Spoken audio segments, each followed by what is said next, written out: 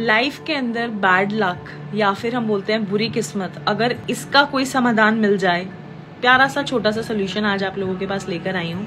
भले ही जॉब नहीं लग रही हो, अच्छे नंबर नहीं आ रहे हो मैरिज नहीं हो पा रही हो स्टक हर चीज़ में स्टक अटका हुआ फील जो होता है ना, कि नहीं, मेहनत भी करें काम बिल्कुल बन गया था ऑलमोस्ट वहाँ पे हम पहुँच गए थे, और बनते बनते कुछ ऐसा हुआ कि फिर हमें उस काम की न्यूज़ नहीं आ पाई। कर्जा बहुत ज़्यादा चढ़ गया है, बुरे सपने आपको बहुत ज़्यादा आ रहे हैं।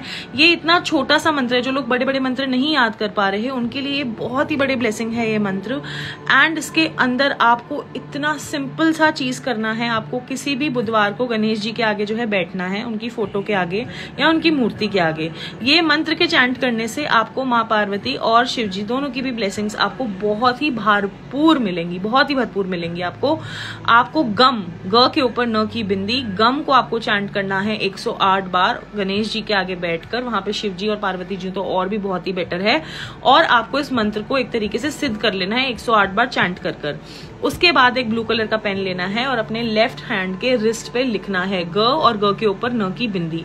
अगर आप इस एरिया में लिखेंगे तो और भी बेटर है क्योंकि वो बार बार धुलेगा नहीं, ठीक है? क्योंकि एक मंत्र है पावरफुल एनर्जी होती है उसके अंदर। आप ऐसा चालीस दिन तक करके देखिए और आप खुद बोलेंगे कॉमेंट सेक्शन के अंदर आके नीचे कि काम ऐसे बना है आपका। तो इसको ज़रूर ट्राई कीजिएगा।